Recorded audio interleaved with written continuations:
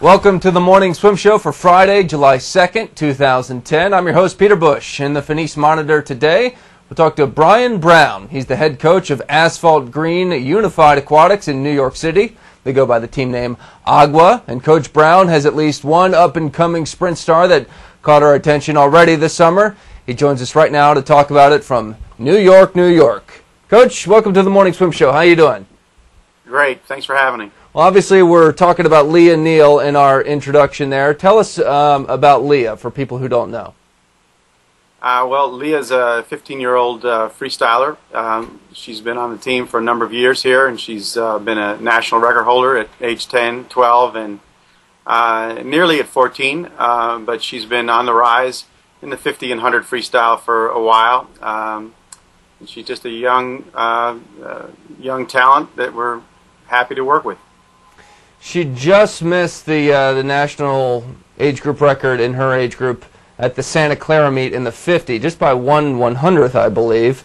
Know, what is uh, what's kind of the scouting report on Lia?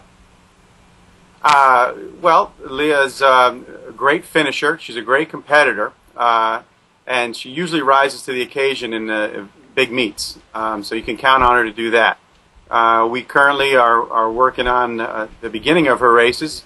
She, um, if you had a watch on it, she almost negative splits these uh, 50 meter races, which is uh, interesting. She kind of gains speed like a locomotive, so we want to get her out a little bit faster.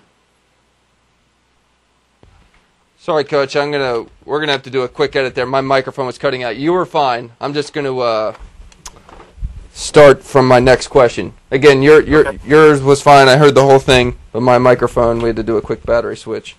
Okay, Garrett, you ready? Yeah. Okay. All right. So you're talking about talking about closing speed with Lia. Is there something that you do in training that uh, that allows her to do that? Um, well, she's naturally been uh, good at getting her hand on the wall, uh, the way most uh, champions are. So it's not so much of training as just uh, reminding her of the need to uh, finish hard. And she's very competitive when it comes to a race. So um, that's not something that we have to focus on. We're really more focused on the beginning of the race and trying to get her up and uh, up with the competition right away. Because I'm usually not worried about the finish. She, she does a great job there. All right. In general, with AGUA, what's your uh, what's your training philosophy with the kids? Uh, we have a pretty um, traditional uh, idea about training. Uh, we like to do a lot of aerobic background with the athletes and uh, we feel like if we do distance freestyle and IM training uh, with the athletes that we're developing, that um, their talents will show themselves later on uh, as they become senior level athletes and or as they become uh, co- collegiate athlete, athletes. So, AKA, you, you like to do a lot of yardage with the kids? Uh, yes, we do. We do a good bit of yardage um, uh, for all of our athletes, whether they're quote unquote sprinters or distance people. I just feel like uh, we have a saying, uh, fitter is faster. And um, if they're fitter in the water and we can do that aerobically, I feel like that pays long term benefits because we're trying to set them up to be good over a long period of time. What do you say to coaches will obviously disagree with you with the sprinters if they think they're you know they're sprint talents then they think you can actually wear them down and you know make them worse by giving them nothing but yardage. Uh, you cut out. I can't hear you. I was asking, some coaches would disagree. They would say, you know, with a sprint specialist, they need to be focusing more on speed and less on yardage. What do you think? Um, I, I, think that uh, history has shown that um, people that focus on um, uh, doing distance training for developing athletes uh, wind up having a longer career. Uh, and now the athletes that we have are not fully developed. They, they still grow more. They still get stronger. And I think there's plenty of room for specificity uh, later on in their career. Now, it's not to say that we don't do any sprint training or, or anything else. We, we certainly do, but we try to hit all the four bases of what I think are necessary for uh, an athlete, and that would be endurance and speed, uh, technique, and power. So that's sort of how we look at it, but we, we try not to specify too much too early.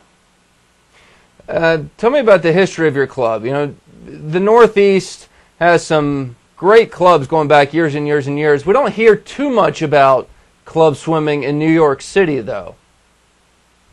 Uh, right. Well, the, the club's been here for um, about 12 or 14 years, um, and I've been here for, uh, I guess, closer to 14 years. I've been here um, for eight years, and um, it's just been trying to develop athletes in the city environment. And um, it's not your traditional uh, environment. Um, there are no summer leagues here where kids uh, naturally drift towards clubs. So it's a little bit of a challenge, and it's taken a while for it to gain some momentum. But um, you know, we're doing all right right now. Well, good luck with the rest of the summer. It's going to be interesting to watch uh, Lia and some of the other real young, budding sprint stars in the country right now. It seems like there's a there's definitely a good young group between Missy Franklin and Dagny Knutson of uh, high school age kids that uh, could really be the future of American swimming. Well, that's what we're hoping. I think um, uh, I can speak for Lia. She loves to race against those uh, young ladies, but she also loves to race against the uh, older athletes that we see at these Grand Prix meets, and uh, it should just make for a good quality competition. I really uh, am enjoying it. Well, Coach Brown, thanks for joining us. Thank you. Appreciate right. it. It's Coach Brian Brown joining us in the Finis Monitor from New York City. And that's it for the show today. I'm Peter Busch, reminding you to keep your head down at the finish. The July issue of Swimming World magazine offers a preview of the names and faces likely to make a mark at the USA Swimming Nationals and the Pan Pacific Championships.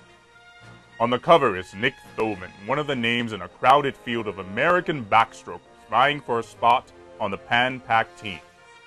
John Lohn's profile on page 14 details Thoman's search for a training group that would fit him and how he has found it SwimMAC Carolina.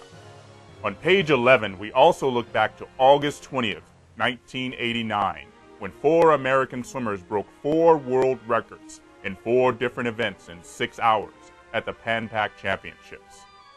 USC's win at the Women's NCAA Water Polo Tournament is featured on page 16, where the Trojans defeated crosstown rival UCLA and ended their five year championship winning streak. Our swim section features a humorous look at some of the rookie mistakes veteran swimmer Karlyn Pipes-Neilsen has made in her life, and some weight exercises to help people get stronger as they grow older. The swimming technique section has a Q&A with Brett Hawke, the head coach at Auburn University, who continues to build a legacy of success there. The Aquajets of Minnesota set three national relay age group records, and they are featured in the junior swimmer section record setters, along with Olivia Anderson. Wayne Goldsmith rounds out the issue with a look at 22 tips for conducting a great taper. If you're not a subscriber to Swimming World magazine, give yourself to the dog side and go to swimmingworld.com and click on the subscribe link.